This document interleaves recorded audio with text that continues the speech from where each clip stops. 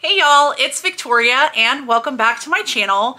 I am here with an update to the eBay debacle. Yes, the saga continues.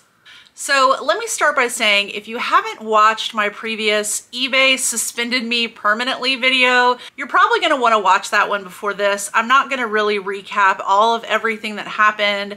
So if you have had your account suspended by eBay out of the blue, you don't understand why, they just told you it is final and they are parting ways with you, then go check that video out. A lot of you have reached out to me and have been going through the same thing.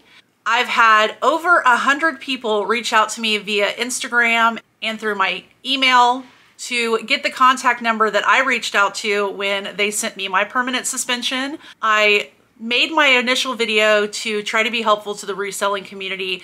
So if you're out there and you are having issues with eBay, have a suspended account, aren't sure why, and want to get that phone number to reach out to eBay, hit me up on Instagram or at my email. Both are listed in the description below. But this video is gonna be an update.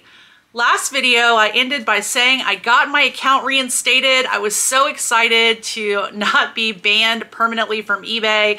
I was most sad because I'm a big mid-century modern collector that I would not be able to shop on eBay anymore, and I'm glad that that is not the case. So I thought all was well. I thought I was just fielding tons of comments from all of you amazing people in the reselling community. I was inundated with so many comments. It really was overwhelming. I cannot thank you enough for all of the sweet and kind words, all of the new subscribers. I am happy to be helping in some small way by sharing my experience. And I have certainly got a ton of messages from you after you've reached out to eBay telling me that your account was reinstated. And so for me, just one of you being able to do that was the reason I made the video. So knowing that tons of you are doing that just makes me know that I did the right thing. So on to what happened after I made the last video. I was getting all these comments and one of you commented that you had tried to click on my eBay store link that's in the description of all of my videos and it was saying that the store was inactive. Uh-oh. So when I got that comment, I immediately went over to eBay and I checked my account.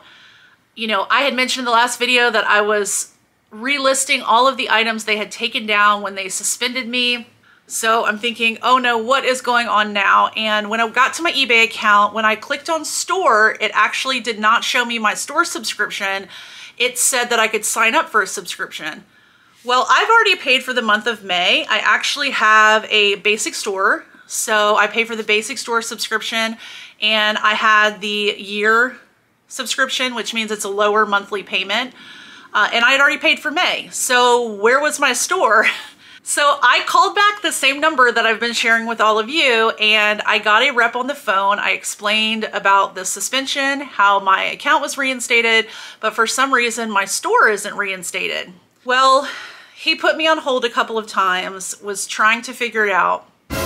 He offered me a solution that they couldn't reinstate my store for the month because once you become permanently suspended, your store subscription is cut off. So luckily I was still paying monthly and didn't pay a lump sum for the whole year.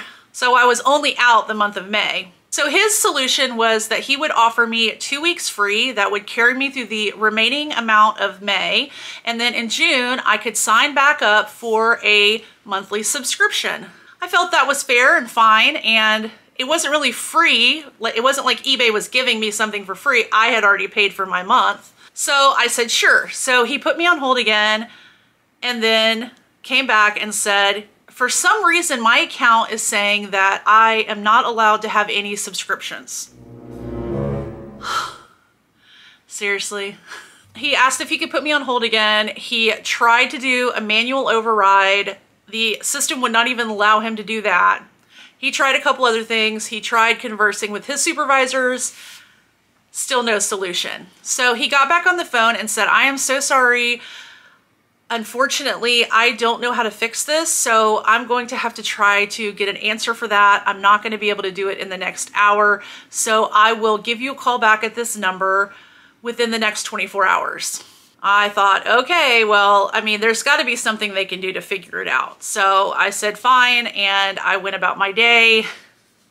I didn't list anything new though, just in case. So yesterday, which would have been 24 hours later, I had waited all day long. I never had a phone call from eBay. I even added a couple of the eBay phone numbers in my phone just in case it came up as spam. I would know that it was eBay calling and eBay never called. So I called back the number and I got a different rep and I explained the situation and that rep said, well, I don't think that we can do the two week free trial. I think they did away with that. Thought, okay, well, what can I do to fix my account? At this point, I'm getting worried because I've already been permanently suspended. I've already had to deal with all this stuff and now my store won't even populate and eBay can't even figure it out. Eventually the rep got back on the phone, said he was able to do an override. He was able to give me a two week trial for free. So my store was reinstated and in June, I will have to go in and sign up for a new subscription to an eBay store. But that's no problem. I can certainly do that.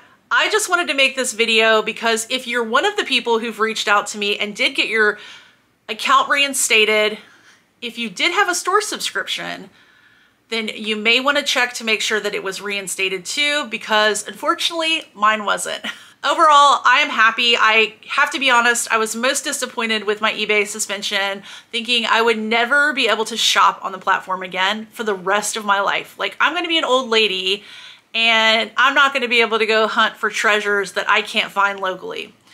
So that was a bit of a bummer. So I am glad, if anything, that I have the ability to buy on eBay again. The selling is great too, but the buying was really what was breaking my heart, especially because I've been using eBay since the late 90s.